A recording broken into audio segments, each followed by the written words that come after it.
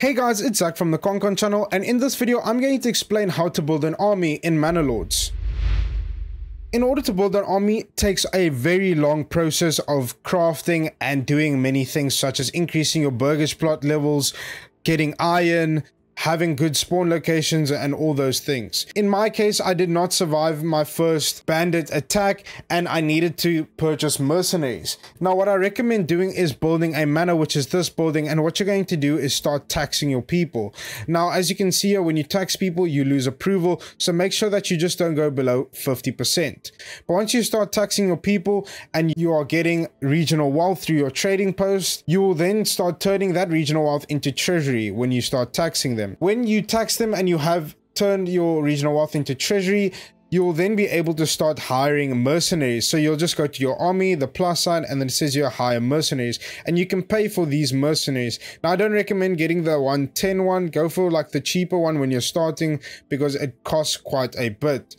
But once you have that, you can hire them and then you can do your first attack with that. But after that, you obviously don't want to keep spending money on the mercenaries because it becomes expensive. Also, don't forget that once you have hired your mercenaries to disband them after the battle has been completed so that you're not paying for them every month. Now, if you want to build your own army, I'll tell you the way I did it because I don't think building and crafting all the materials to actually craft the armor and weapons for them was the most efficient way to build an army. What I did was I actually went to my trading post and I started trading my excess goods to make a lot of regional wealth. Once I made plenty of regional wealth, what I actually did was I started buying the actual goods themselves. So if you go to the army and you go to the spear militia, you'll see that we need 36 spears, 36 large shields, 36 helmets, 11 gambesons, and 19 mail armor.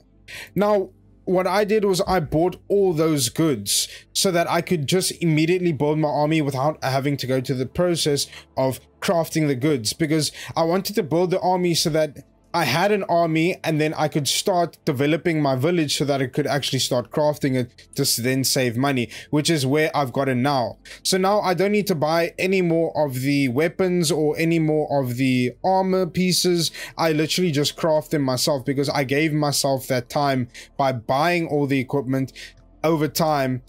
I started just crafting them naturally. And once you have that down, you can then start obviously developing more armor and weapons and start creating more militia. And while your village is now growing, you'll be able to create more of these troops because if your village is small, you'll only be able to have one troop. And obviously, the bigger the village, the more troops you'll be able to create. So if you do by chance want to start crafting the weapons and armor, what you'll need to do is get your burgage plots to level 2. Once you have your burgage plots at level 2, you'll then need to create backyard extensions such as the armorer's workshop, the fletcher's workshop, the cobbler's workshop, the tailor's workshop, the joiner's workshop and the blacksmith's workshop. And as you can see, the blacksmith will then turn your iron into tools and then it will create gambesons which you need. It'll also create warbows and then it'll also create helmets and mail armor.